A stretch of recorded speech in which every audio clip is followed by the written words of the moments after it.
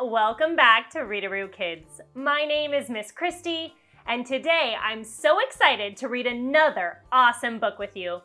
If you're as excited as I am, be sure to give this video a thumbs up below and don't forget to click subscribe. That way, every time we post a new story, you and I can read together again right away. All right, today's book is called The Story of Snow The Science of Winter's Wonder by Mark Cassino with Jon Nelson, PhD. Let's get started. The Story of Snow The Science of Winter's Wonder by Mark Cassino with Jon Nelson, PhD. Our story starts on a winter day, high up in the sky, in a cloud that is very, very cold. This is the story of snow. Clouds are mostly made of air, which we can't see. Then there is water vapor, water in the form of a gas, which we also can't see. We do see the billions of tiny droplets of liquid water and ice crystals that float in the cloud. They reflect light, making the clouds visible. Snow begins with a speck. Clouds are mostly made of air and water, but there are also bits of other things like tiny particles of dirt, ash, and salt. Even living bacteria can float in the wind and end up in a cloud. A snow crystal needs one of these specks to start growing. These specks are all much smaller than the eye can see. But if you could see them, this would be ash or soot from a volcano or fire. This might be a grain of pollen from a flower. This could be salt left over from ocean water that evaporates. This is a particle of soil. And this is bacteria from plant leaves. See? They're tiny, tiny. The speck becomes the center of a snow crystal. When a speck gets cold enough, water vapor will stick to it.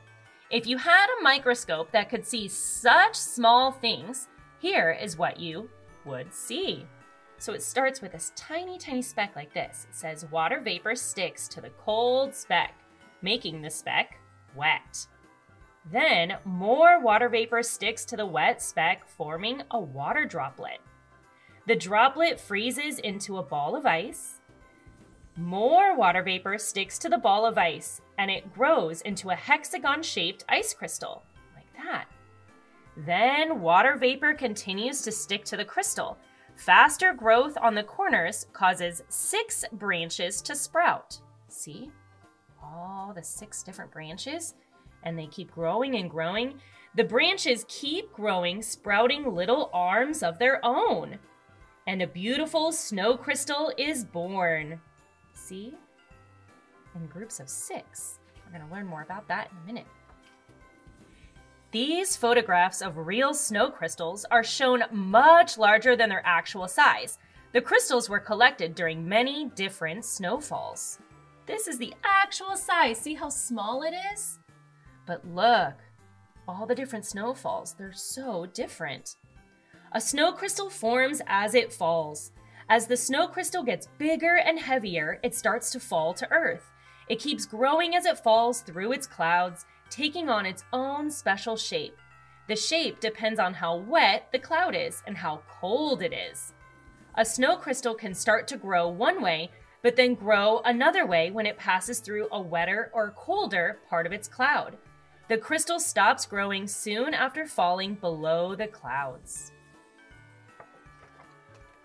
Snow crystals can be stars. One common snow crystal shape is the star. Star shaped snow crystals usually have six arms reaching out from a center point. The center point is the home of the speck that started the crystal. The six arms look alike, but they are almost never exactly alike. So this would be where it looks like a star, see? And the arms are coming out straight like that. Parts of a snow crystal can break during the fall to Earth, causing the arms to look different. Star-shaped snow crystals are called dendrites, which means tree-like.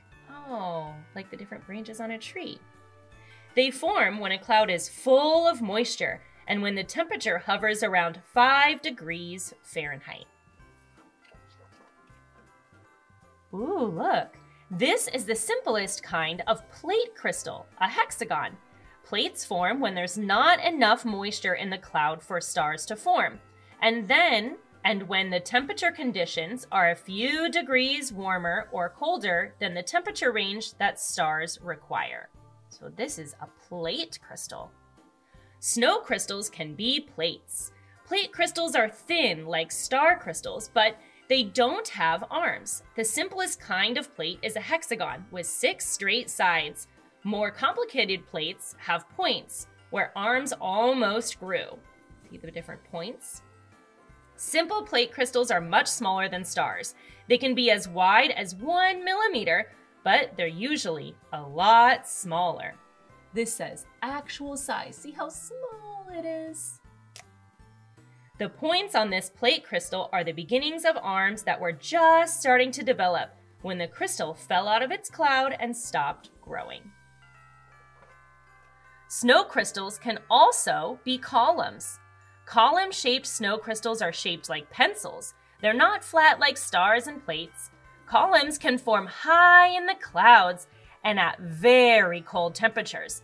They are very tiny, and when they fall, they make for very slippery snow. A column has six sides. They are the three types. These are the three types. There's a solid column. These are the smallest. See how it's solid? Then there's a hollow column. These are longer and more common than solid columns. So they're longer. And there's nothing on the inside. It's empty on the inside. And then there's a capped column. The caps on each end of these columns can be plate crystals or star crystals. Wow. Oh, look, here's one here. Capped columns, like this one, develop when a column crystal moves into a part of its cloud, where the temperature is right for plates or stars to grow at the ends. The two end caps can grow to different sizes, as you can see here. It's bigger on this side and smaller on this side. Six is the magic number for snow crystals. We've heard six a lot, haven't we? This is because of the nature of water. Water molecules, the smallest units of water, attach themselves into groups of six, which usually leads to crystals with six arms or six sides. A perfect star or plate snow crystal has six fold symmetry.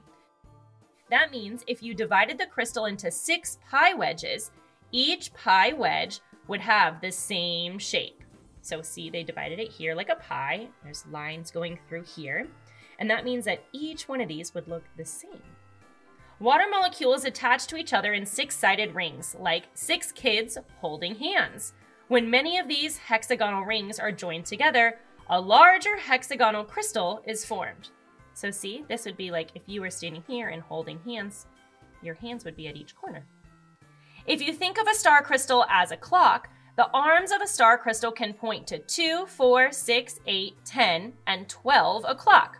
Only those times. So see, this would be 12 o'clock here. And then 2, 4, 6, 8, and 10 o'clock. If you thought about it like a clock. Snow crystals are rarely perfect. So much can happen during a snow crystal's fall to Earth. It is rare that one will turn out perfectly. If a droplet of water passes close to one arm of a snow crystal, that arm can start to grow faster. Before long, that one arm will be a lot longer than the others. See, this one's a lot longer here.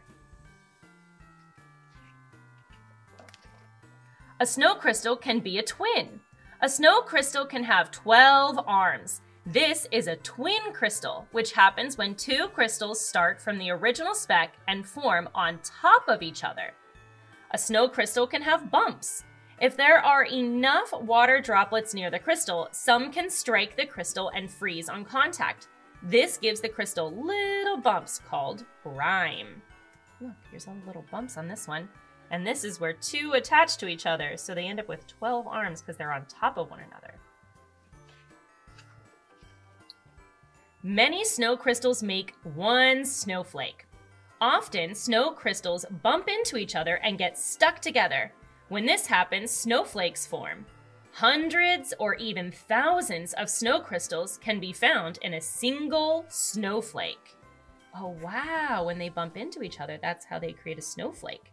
Two snow crystals stuck together. So here you can see one, see the six arms, and then here's another one and it's stuck.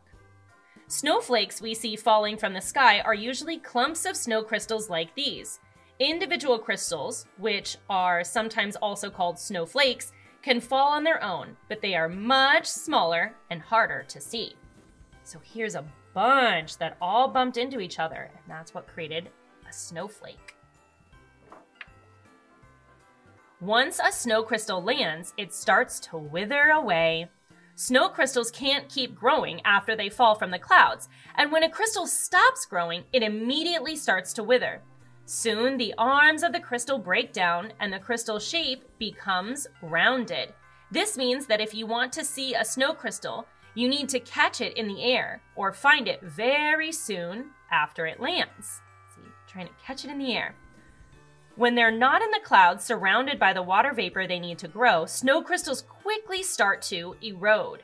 Try catching one on your sleeve or glove to see the crystal structure at its best. See, like this If you catch one, you can see it before it starts to melt away or erode. Are no two snow crystals alike? Some simple plate crystals may appear exactly alike, as seen through a high quality microscope. When it comes to more complicated snow crystals, though, odds are that no two are exactly alike. But then, no two leaves, flowers, or people are exactly alike either. Snow crystals are like us. We're each different, but we have a lot in common. I loved reading with you today, and I hope that we can read together again soon. If you liked this book, don't forget to give it a thumbs up below and click subscribe. That way, every time we post a new story, you and I can read together again right away. If you'd like some activities to go along with our books, you can head over to readarookids.com. There we do all kinds of fun things like arts and crafts and science experiments. Sometimes we work on our math skills and reading skills, and we even cook recipes together. If you'd like to find out what we're up to every day, you can always follow us on our social media. Again, I loved reading with you today, and I hope that we can read together again soon. Until then, Readaroo loves you. Have a great day. Bye bye.